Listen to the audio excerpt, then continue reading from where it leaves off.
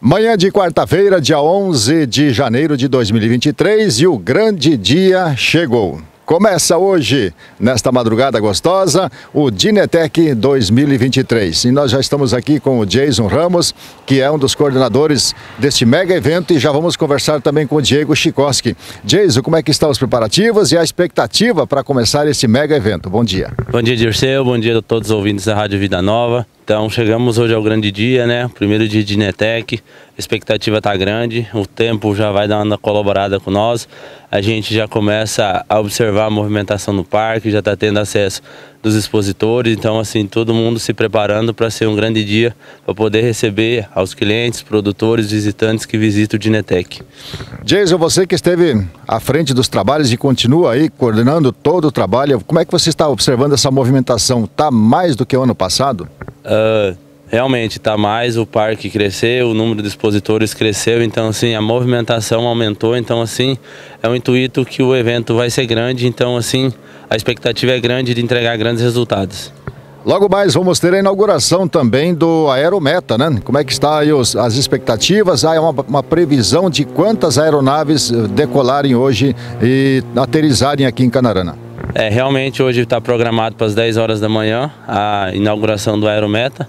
Tem uma previsão aí de mais de 20 aeronaves que vão descer. Já temos aeronave no, no Aerometa que desceram ontem e hoje já tem mais um número de aeronaves que vão descer para a inauguração do evento.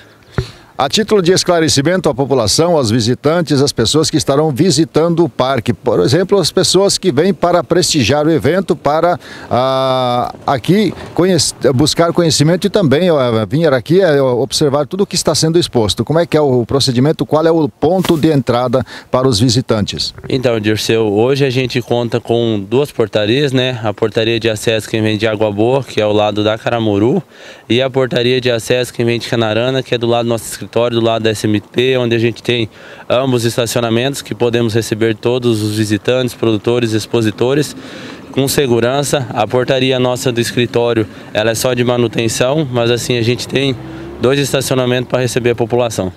Conversamos também com o Diego Chikoski, sócio proprietário do grupo AGS, que agora está no comando da Meta Consultoria, Meta Cotton e Aerometo e Fazendas.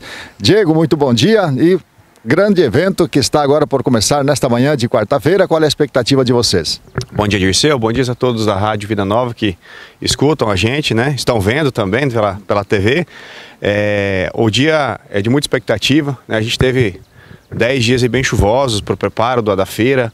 Mas ontem abriu um sol muito bom, hoje também. É, o produtor também vai conseguir botar suas aplicações em dia para poder vir para o evento, vem mais despreocupado, porque senão a lagarta come, o percevejo acaba é, tomando uh, lucros dele, né? Então ele vem mais tranquilo para o evento para poder ver, organizar, então ele vai ter aí uns dias, já teve alguns dias de, de tempo melhor e eu acho que durante a feira, pelo que se vê, vai ter um tempo melhor também. E como a gente vê aqui aos fundos, um cenário maravilhoso, o sol já despontando no horizonte, o dia começando.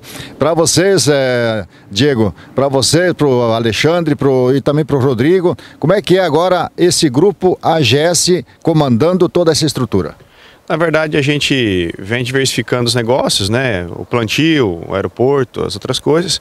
E a gente vem precisando se organizar, né? Então a gente montou uma estrutura administrativa mais robusta é, para poder conduzir isso tudo. Quando você consolida os negócios num, numa plataforma só, você aumenta seu, seu poder de, de, de faturamento, de crédito, e isso é melhor, melhora muito para a gente conseguir expandir né, as, a, os negócios da gente. E a expectativa para esse grande evento de hoje também para a inauguração do Aerometa?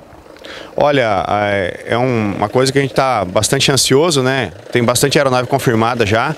Muitos amigos que vêm de outros locais, né, para o evento, né? Então, é, já vem para evento de, de, aeronave, né? Por exemplo, o pessoal do Xingu, produtores aqui de Canarana mesmo, que tem aeronave, virão para prestigiar, né? Não precisaria, né? Porque é perto, mas vem para prestigiar a pista, né? E aí vai ter um translado, né? Do, da, da, da, da pista para cá, que dá mais ou menos uns mil metros, é bem perto. Mas vai ter uma caminhonete, né? De uma, uma empresa parceira que vai trazer o pessoal para cá, para dentro do evento. Para finalizar, Diego, dentre as muitas vezes que estaremos ao longo desses três dias conversando contigo, com o Rodrigo, com o Alexandre, é, como é que está previsto a, o ato de abertura do Dinetec para esta manhã? Olha, a gente geralmente faz uma cerimônia bem simples, né? Se reúne na portaria próxima a Caramuru ali. É, em torno das 8h30 a gente vai se reunir é, e aí vai fazer uma, uma, um agradecimento bem rápido, bem breve, porque até então é, o pessoal já vai ter entrado, né? Que os portões já abrem às 7 horas para as visitações. Então a gente já fica aguardando ali, e a hora que em torno das 8h30 a gente faz uma solenidade bem rápida, bem simples, para poder dar início aí e consolidar o início efetivo da feira. Bem, então agora, Diego, fazendo o convite à população para que venham para prestigiar então esse mega evento.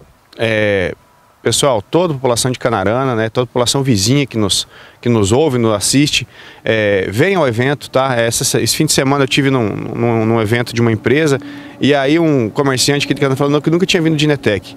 É, ele falou, ah, eu não planto, eu, né, eu não sou do agro. Falei, cara, vai lá ver, né? É, vai lá conhecer, né? Na hora do almoço, que o comércio dá uma, fecha, ou à tardezinha, né? O evento fica até às 18, né? Estende às vezes um pouquinho.